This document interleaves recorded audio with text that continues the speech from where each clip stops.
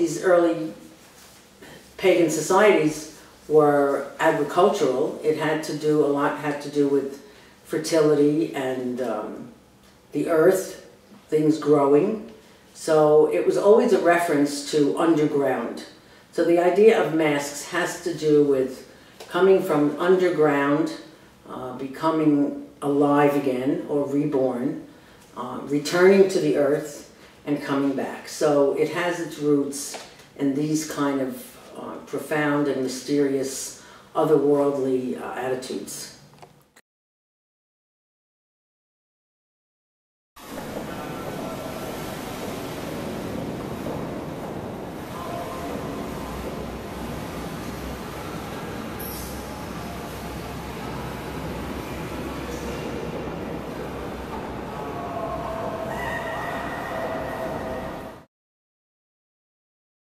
Guess my my goal, my mission, my passion is for people to have a greater understanding and awareness of the uniqueness of Venice.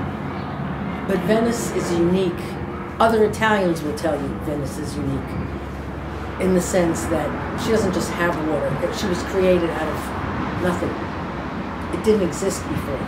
And people who came created this city, and it has endured in spite of wars, in spite of the economy going down, in spite of the rising tide and the sinking buildings. It has endured.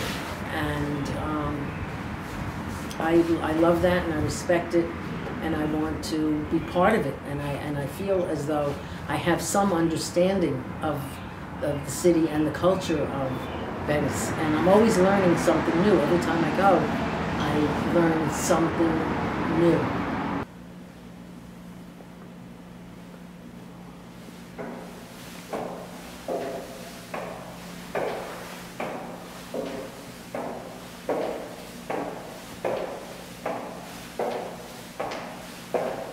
The carnival was very popular for Venetians hundreds of years ago because the society was less free. There were many more um, restrictions on people. And anytime you have restrictions, whether it's by the government, whether it's by society, whether it's the church, it's a form of repression. And repression always brings out the need to fight against it or to express yourself in some way um, to move away from this repression. So that's also one of the reasons why Carnival was so much a communal activity. Everyone in Venice had restrictions on them in their way of public behavior, dress, uh, associations, friendships, and so on. So this kind of stricture, uh, structure, tight structure, also helped to contribute to the need for people to have a release from all that, and that's what Carnival provided. Today, they hardly need, you know, such a release.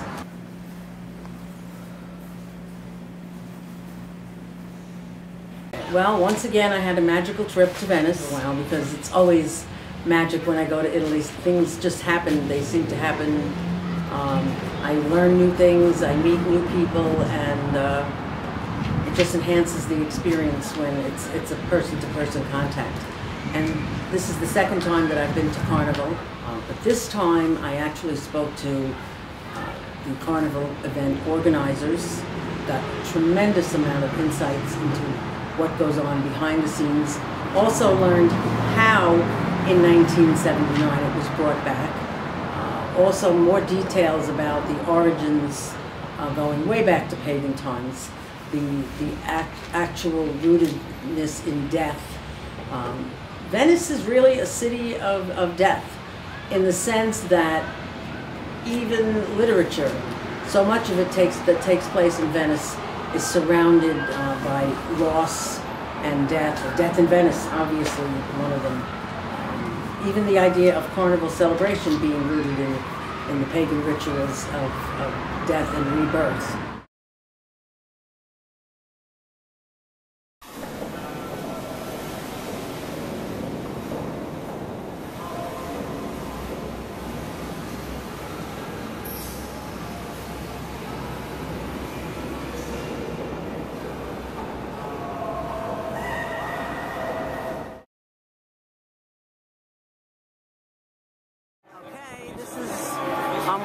Columns.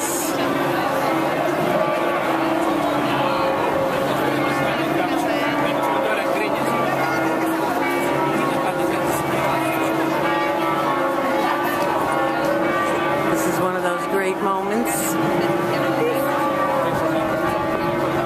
They sit here and they pose in front of these beautiful columns and churches.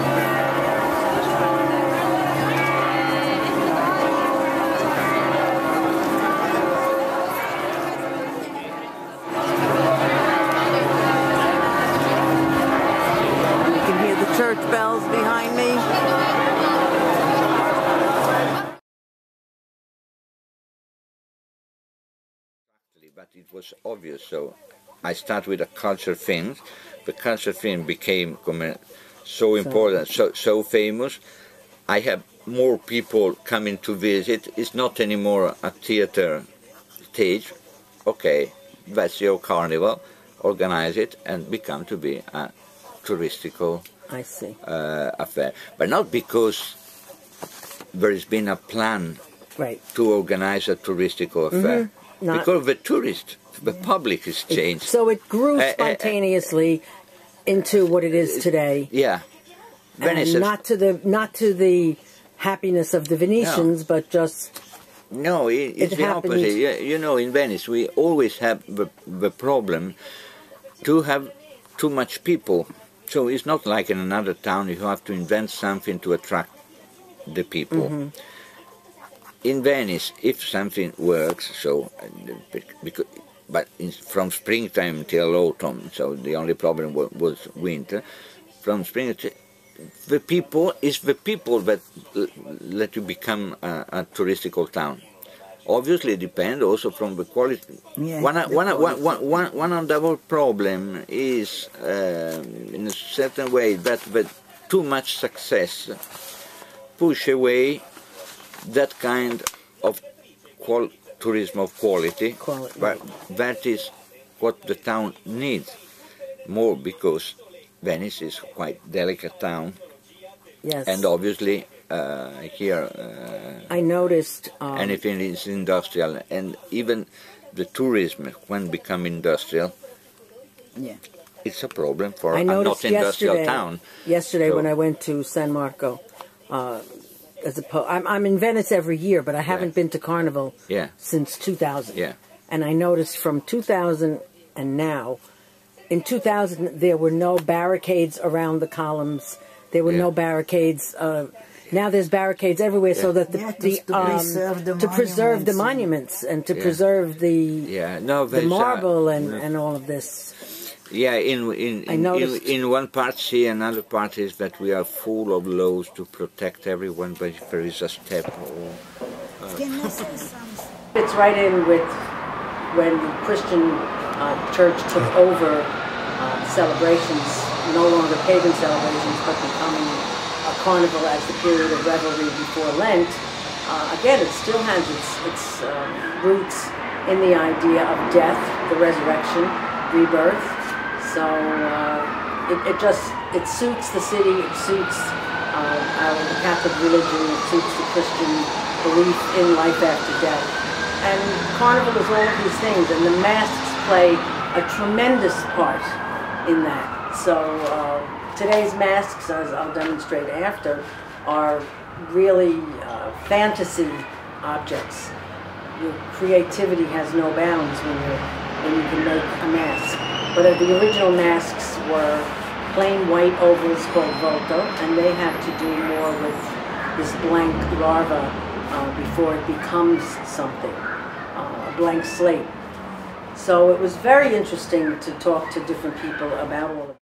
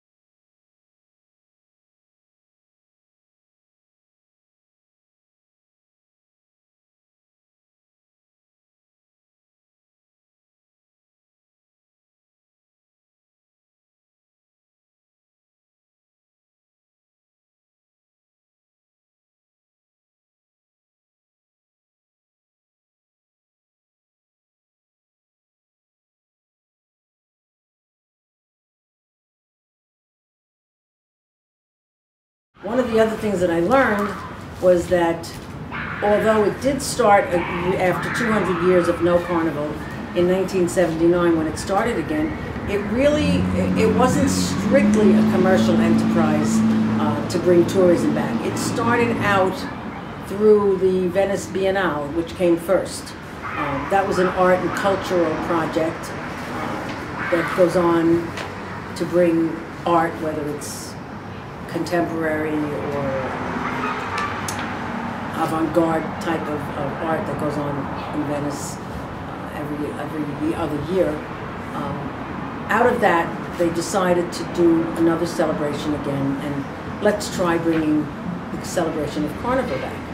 So the, it was actually the organizers of the Biennale who decided to have a grand party again um, during the period when carnival used to take place. So they started it, and um, local businesses were involved, and the Venetians were very involved. At that point, when it restarted in 79, 1979, after a 200 year um, absence, it really still it, it started again as a Venetian holiday. And what happened was its own success ruined it for the Venetians because uh, it was announced on the radio, and it was mostly the people in Venice and the surrounding area who came. They got dressed in their costumes, and it was a wonderful celebration. It was the first time that there was a, ball again because the event organizer, uh, one of the event organizers, his name is Fabio Momo, he's Venetian. His family, uh, his father and mother had a, a theater and they ran uh, theatrical performances in Venice since the 1940s. Um, and he took over and uh, does the performances, the stage director, choreographer, etc. And his wife was Austrian. Now, the Austrians are famous for their balls. So she had the idea of making the balls public, staging another man masked ball, but having it open to the public. that. The first year we, we organized uh, uh, a ball using the, the mail, normal mail, or the address of the things. Didn't work, you lose money. So I, I, because I worked for five, six years on a computers company, So you had a- I, I, I, I So you had a I- mailing list in the beginning. Mailing Yes, just a, ma- a mailing list. I, I, I made it in 1998, so the, the website, and So- that became an economical activity. Mm-hmm. And now how you many- can be im- immediately. So you so are you are CCI Yeah. Club Culturale Italiano, and then there's other organizations similar or But organized balls. That organize balls yeah, and- yeah, yeah, yeah. Very. and Be, uh, better. So there, there is another four traditional organizer of ball. That are uh, the Antonia Four? South. Four. Four. Yeah. Is that of the Antonia Sautter, that has got also the atelier, costume atelier, and organized the, the Doge ball. oh, By we passed yeah. on the way to the Yeah, ball the other yeah. evening. We passed that. and then there is the, the Arnita is a Lebanon uh, living here in Venice, so it's since a lot of years. Uh, it's got a palace and organizes uh, balls. Then there is another atelier called Mascaranda, that organizes a ball called Mascaranda. Mascaranda is a shop also near, near here that organizes ball. That's our basic. and And, yours then, is- and then there is the Friends of the Carnival, but they are not particularly commercial. Okay, you pay the ticket and then they pay the other activities. Are that people in costume that comes every year to the carnival all, all over Europe, and and they too, uh, one of these organize a certain number of a ball. I After see. there is other people that try to organize a ball every year, and usually doesn't work because uh, this year has been a little bit exceptional. We have a really, really a, a lot of people. So uh, uh, in our ball we have 1,700 people this year. So, Wow. uh, and but usually, so the number of people attending the balls is always that one. So, and so you split th- that number. One year Yeah. more in one ball, one year a little bit more yeah. in a one. So it's difficult if you to to have to add more um, balls Right. because you're or, add- you're or, or, or you do a marketing, a very strong marketing, but Yeah. if you arrive last minute, rent a palace and organize a ball. Mm. Right. You lose So your, money. your, Now, if- your- if- our program is in a, next month will be next carnival. so you'll start. Uh, but, you'll, uh, necessarily, otherwise doesn't work. so you'll start next next month to think about next year's carnival. Yeah, to put on, on, yeah. internet uh, the, the next program. yeah. Oh, so when have you thought of, say, your next theme? Um, yeah, yeah. Uh, now, okay, Now. now, okay. So you're already. Yeah, so- I, I, I don't know, but so in May, I have to have my uh, program on on internet. Yeah. We are always the first, but in reality, the people start to, to book in June.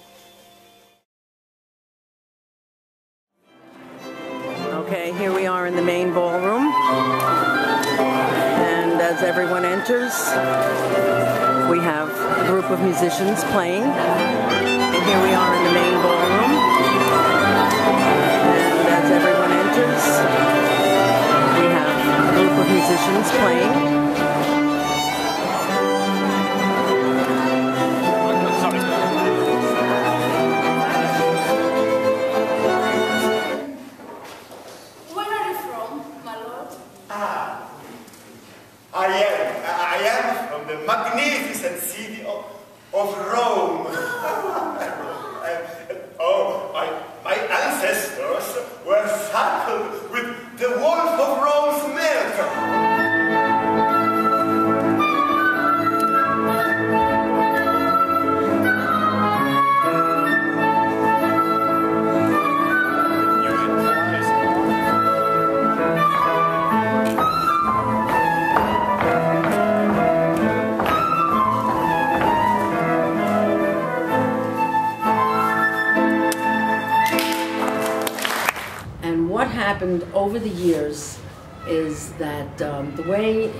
Explained to me, it's almost as though there's two carnivals now.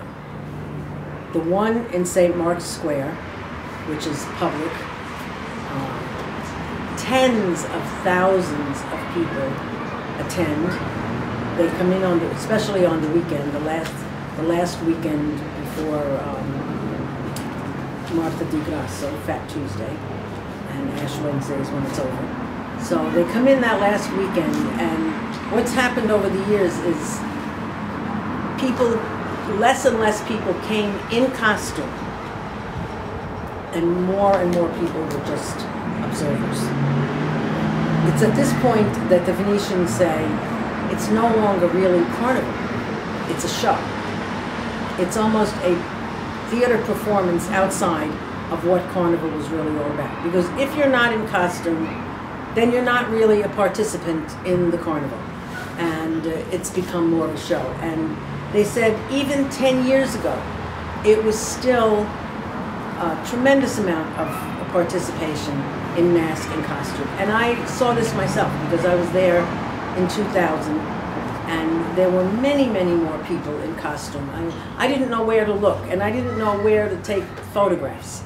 Um, it was just all over the place. Thousands of people were in these fantastic costumes that were so elaborate and face covered, full with masks and headdresses, and these elaborate costumes, just walking in the square, posing, uh, miming. A lot of them do pantomime, and they move very slowly, almost like living statues. So, this time, what I saw you had to find them. You had to go looking for them, and you'd find them off in the in the corners of the, the piazza.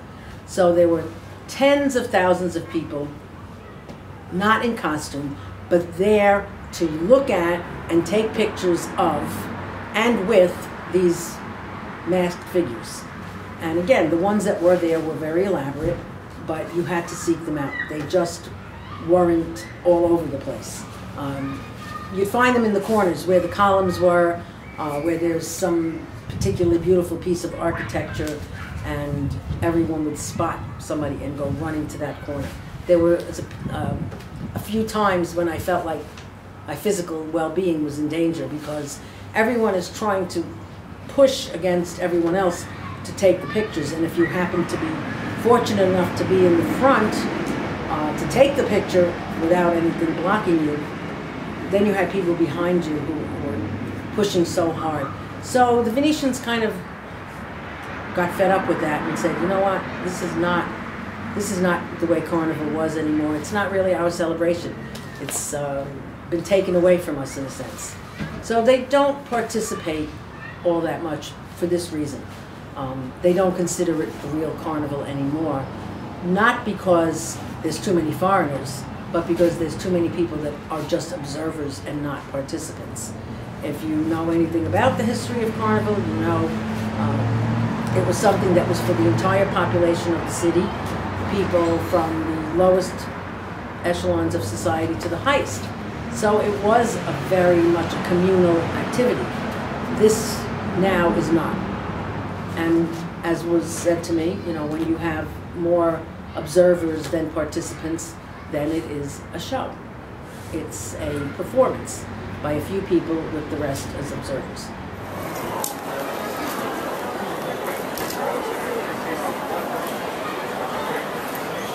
Okay, here's a group that's posing.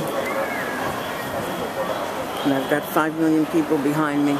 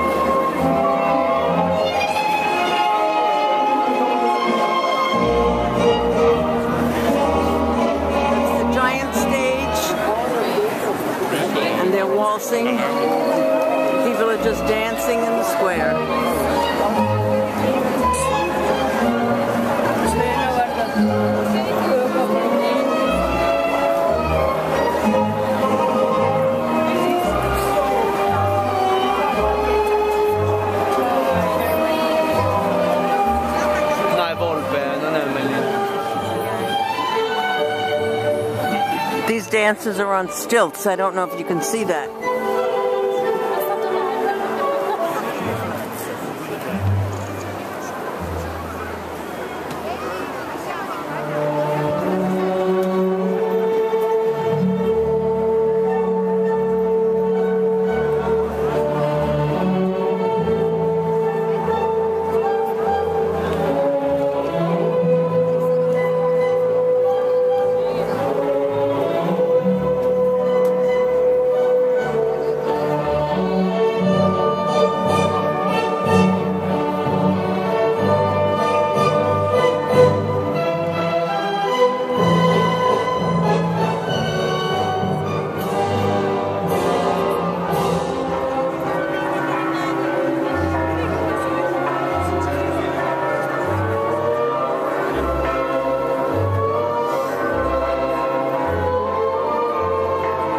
Difference in the private carnival is that everyone is a participant.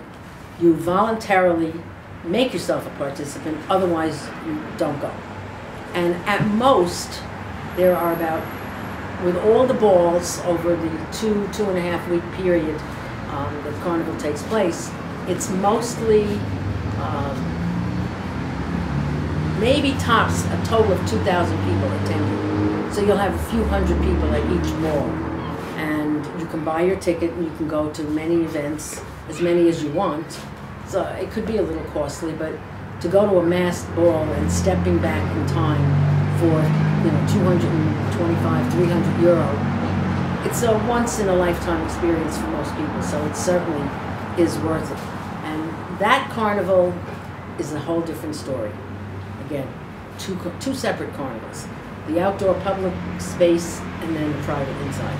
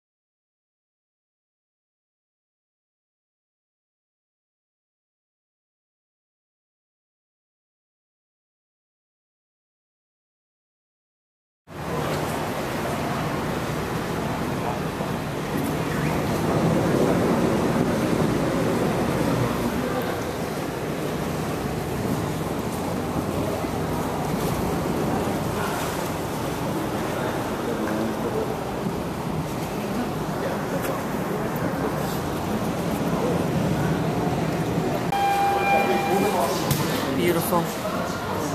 Look at these creations.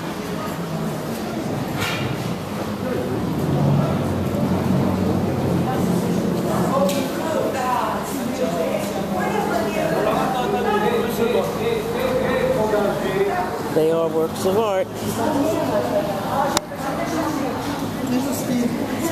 They are. They are truly works of art. Look at these.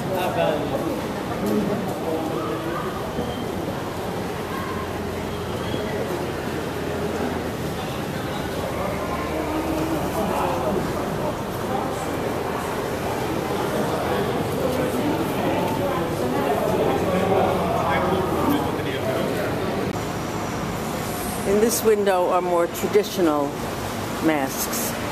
The ones you saw in the other window are the new style um, metal. Ma- they're made from metal, and these are your traditional paper mache. The other ones are more probably glamorous looking, but I prefer the traditional style because of what it represents.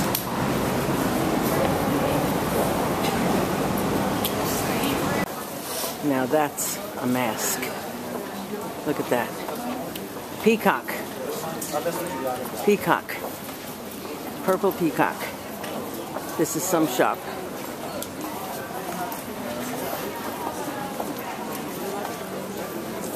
Shelf after shelf of contemporary and traditional masks. Look at this one.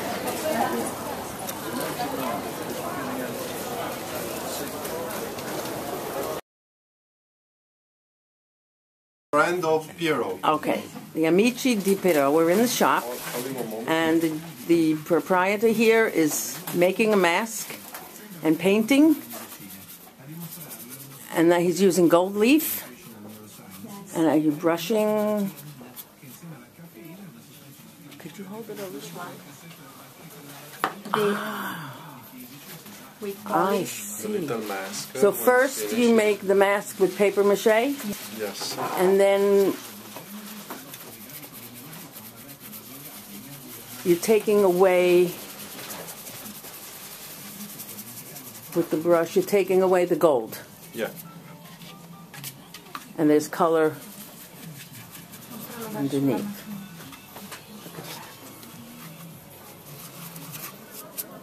And when he takes away, when he brushes away the gold, there are all the colors. And when you're finished, this is what it looks like. Amazing. And you start out painting by painting By hand? Yes. Yes, yes, Full hand yes. painted. Full hand painted, Yes. handmade, And the mask hand is painted. full handmade. Okay, it's The mask handmade, Is in paper mache. paper mache, Yes. and you dry it for a few days. Yes, uh, I made the mask in uh, 15-20 minutes, uh, but Mm-hmm. uh, dry in uh, 24 hours. And is there a mold, or do you make the mask? Yes, you shape no, it. I have a, little You have a mold? I made the mold with the, uh, I created the model with the clay. When I I, finish, see. I put the coke on the clay. When it's Mm-hmm. dry, I take off uh, the clay and I have uh, a negative.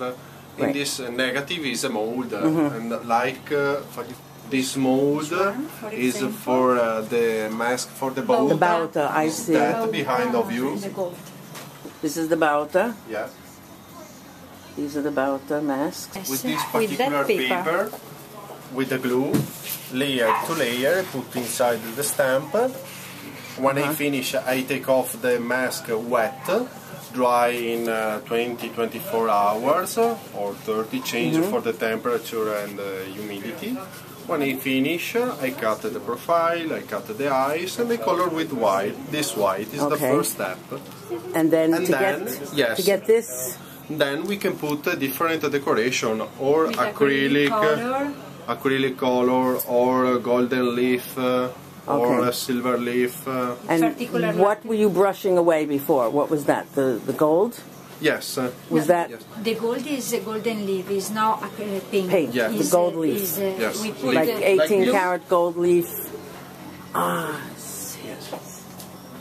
This is real gold leaf, Yes. not paint, gold leaf. No, no. Okay. And then you put it, We put a particular glue on top the mask. When it's dry, this glue, we uh, the golden leaf on top. Okay. When uh, I finish, I clean the excess, and this is the result. Now I put the varnish on top, and this particular decoration. This is the I result. see. and and these other colors are acrylic. Acrylic color, Acrylic yeah. color.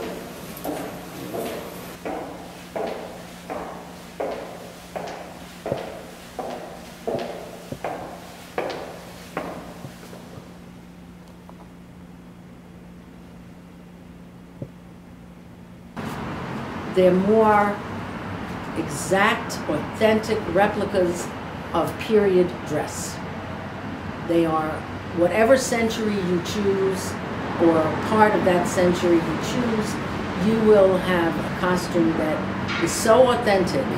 You can take that and hold it up to a painting from the actual period of time, and you will be completely the same. It'll be representative of that. period. This was my costume.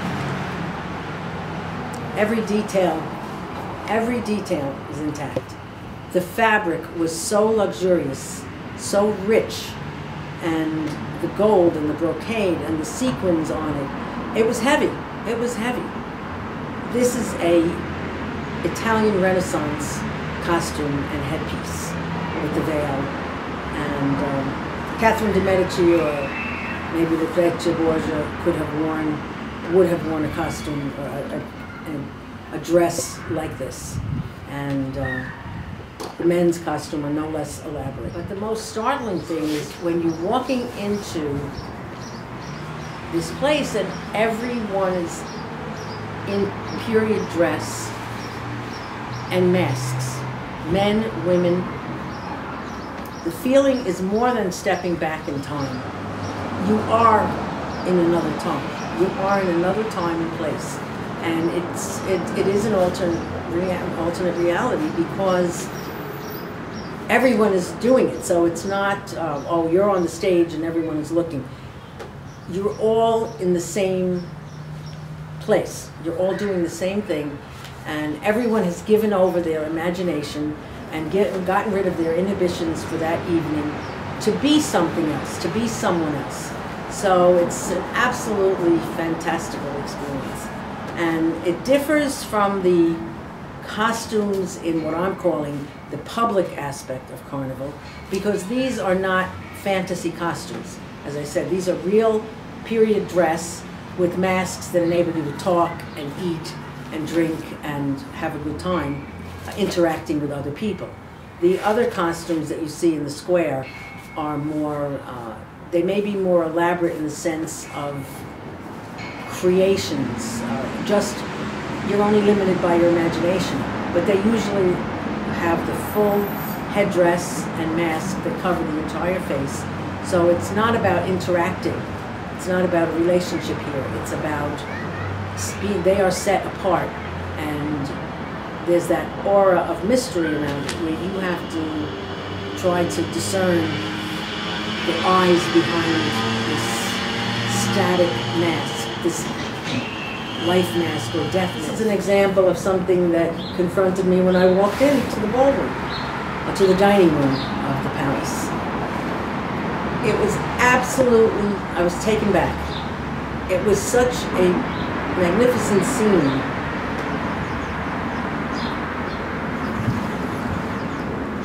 The candelabras, the, the, the, walls of the palazzo, the people in their costumes, um, the masks, the masks especially. I think you could be in these costumes and it would be nice, but it's the masks that give it that aura of mystery and the feeling that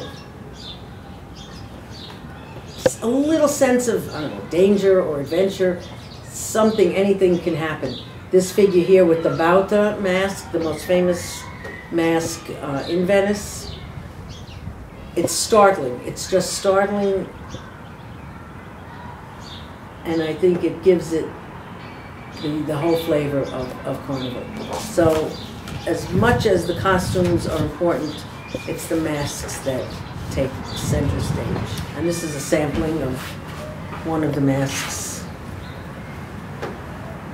There are some just plain old commercial pieces that you can buy uh, in many different shops, but I try to find some that are a little off the beaten track because they are true artisans and true artists. And this one, as you can see, it's signed inside by the artist. And if I said, oh, I love that mask, but I don't like this color, uh, I could go back the next day and they would have a new one made for me in the color scheme that I wanted. So they're all works, beautiful works of art, and they're not that expensive. Um, I have another one I can show. This is another type, smaller, a little more. Um, it's, it's elaborate in its own way, but a little less so than the other one. And then there are full face masks and headdresses like this. This is the kind, this you would not see at a ball. This you would see at the ball. This you would not, because this is what you would see in the square. These are the people that walk around and pose and mime and uh, stand on the columns and they just move slowly. And it's a fascinating thing to see. And as you can see, it covers the whole face. Only the eyes are exposed. um, this whole piece is an elaborate costume.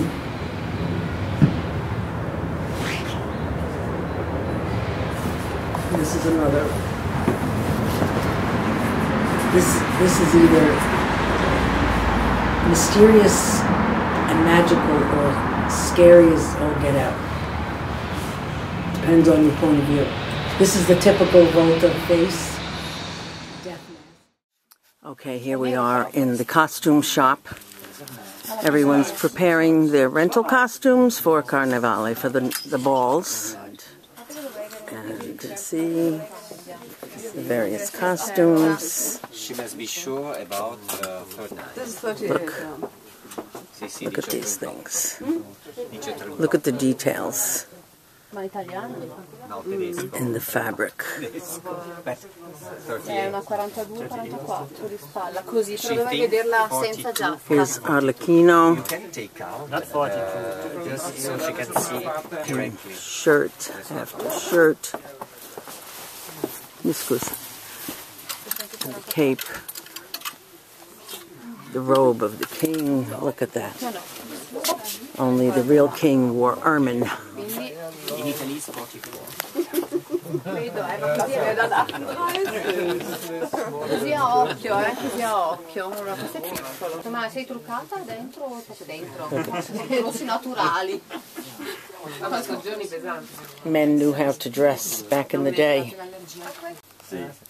Va bene. Racks and racks Capisco.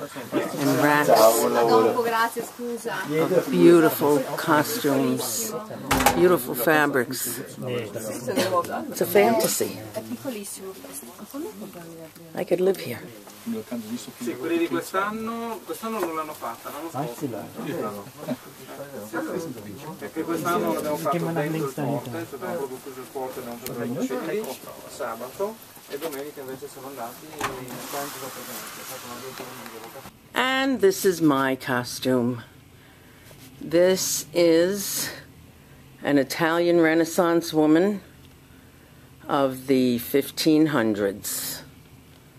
I think that's when Lucrezia Borgia was around. Because tonight I'm calling myself Lucrezia. Because I've always had an affinity for her. Felt sorry for her. I think she was she got a bad rap. She was wrongly accused of poisoning her husbands, and it was not her, it was her brother and her father who did that. And of course, she got blamed. So in history, she got blamed for killing her husbands. But she really was a very good woman. And she had some beautiful clothes. And here's a sample of one of them. Look at the details. I mean, these are stones and the threads, the gold threads. No detail is overlooked in these costumes.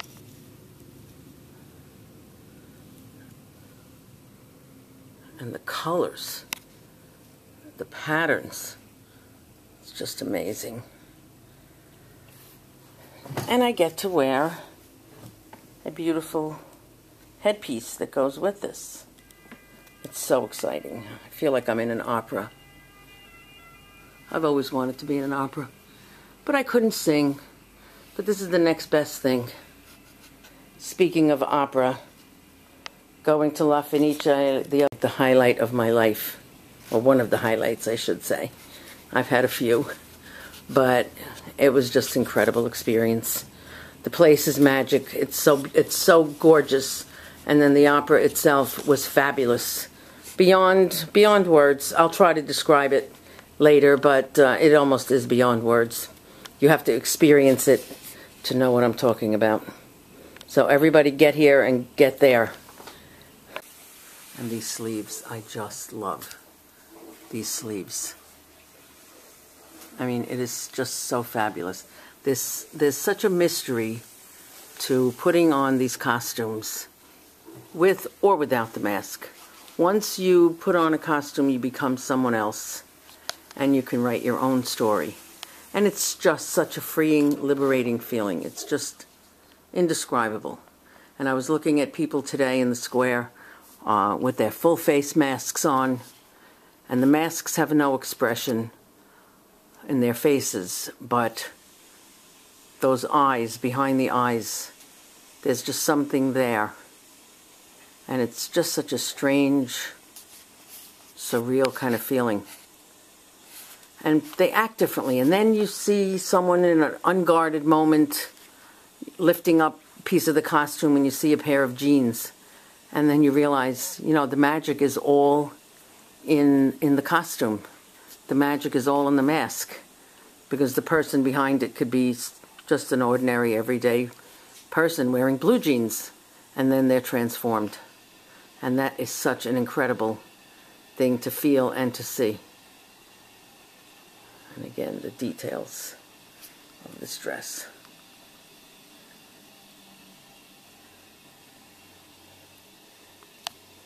Look at this. And this is red and gold.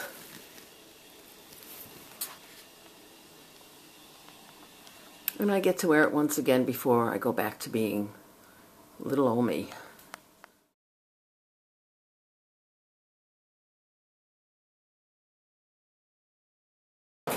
Here we are going into La Fenice. This is the famous La Fenice, Teatro La Fenice, the most famous opera house probably in the world next to La Scala. But this one is the most beautiful. Oh my God, we're in La Fenice. This is the most gorgeous opera house in the world. I wish I had a zoom lens on here to show you just how beautiful it is. Look at that royal box. God. And we're here. I am here to see La Boheme, my first time seeing an opera at La Fenice. This is magnificent. Oh my gosh. This is so beautiful. And it truly is the phoenix. It was burned to the ground both times. Oh, that royal box is unbelievable. This is truly a dream come true. This sure isn't the Metropolitan Opera.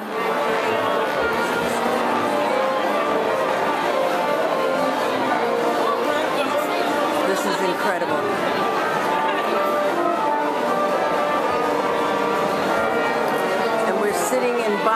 Seats.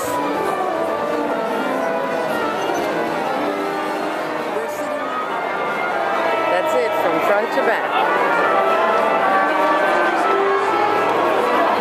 That's it. And these are not fold down seats, these are chairs. We're leaving La Fenice.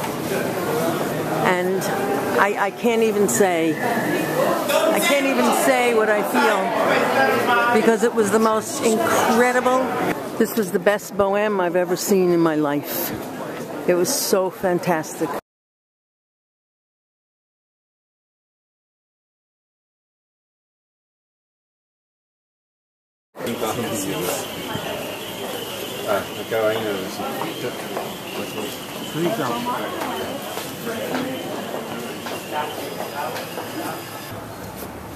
Salve.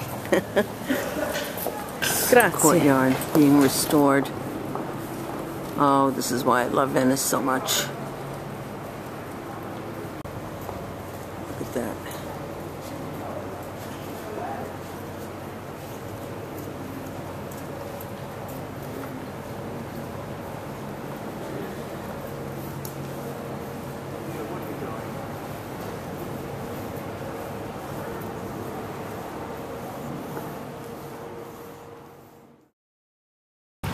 I wonder if you can see that snow. But it is coming down. This is something I've never seen in 18 years of coming to Venice. Not even at Carnevale. Because it's not summer. But this is Venice in the morning. It's a workaday city, just like every place else, carnival or not. People still have to go to work, and there's the tourists on the Vaporetto. Still not very nice out. It's still snowing. Kind of an icy rain. All right, I'm going back inside now. It's a little cold.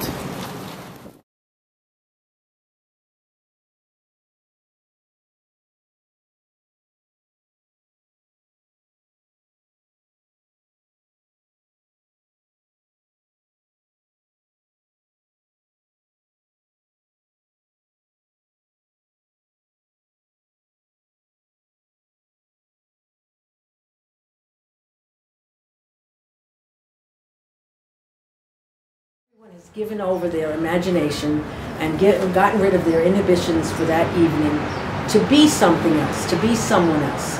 So it's an absolutely fantastical experience. This is real, it's just in a different time, so you've gone back. And uh, it was a wonderful, a wonderful experience. And the second ball that we went to was actually even more, I want to say, um, mysterious in a sense, because we walked through the streets. It was near to the hotel, so we didn't have to take a boat or anything. And uh, we walked through the, the narrow alleys, and here you are in the dark. You're wearing a medieval costume or Renaissance costume, and you're seeing other people walking, going in the same direction as you, and they are all in the costumes too. You know, as a photographer and someone who loves this kind of drama, to see them walking past with their capes billowing behind them, it was magic. It was a sense of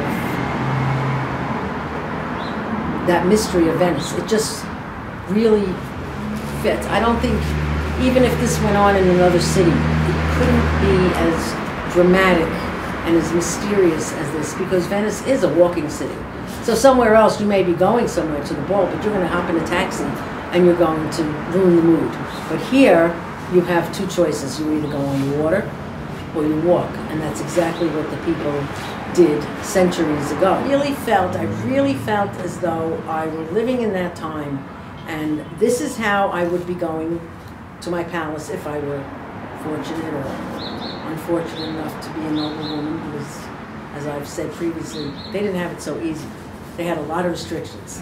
If you want to get anything done in Venice, you need to allow three times as much time to do one simple thing as you would if you were anywhere else.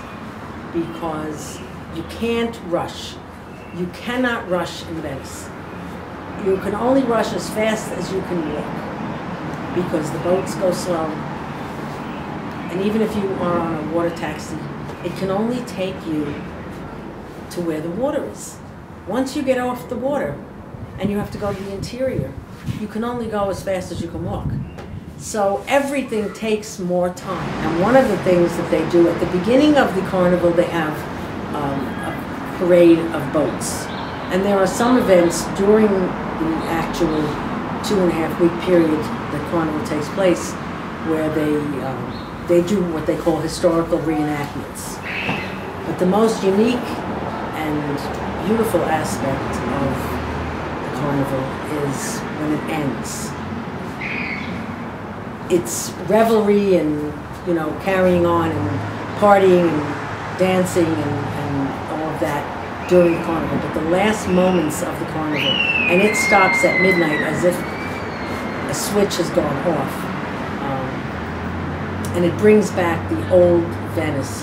What they have is it's called the Silent Regatta, and it's a procession of gondolas and boats that are going down, the Grand Canal is all lined with candlelight, votive candles in these containers.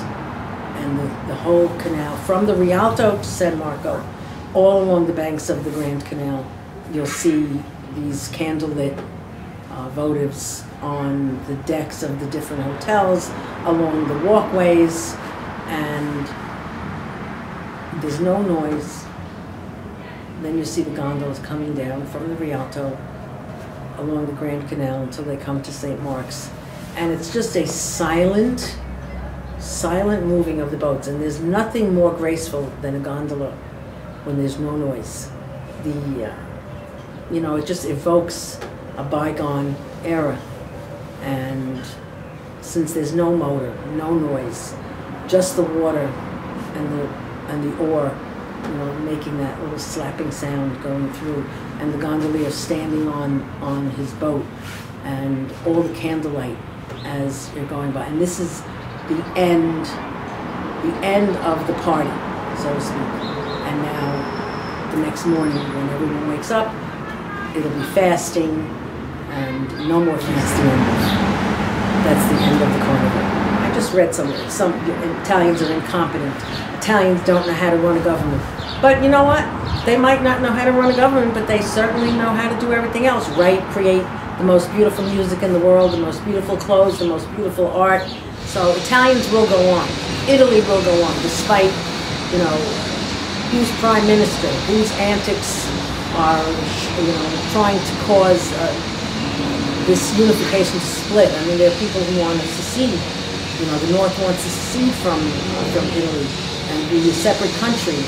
In spite of all of this, and in spite of Italians' own reluctance to blow their own horn.